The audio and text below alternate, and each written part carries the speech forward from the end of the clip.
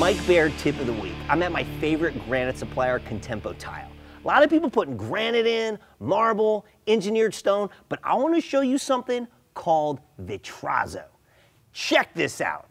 This is a proprietary Portland cement mixed in with a recycled curbside glass. Look at the pop on that.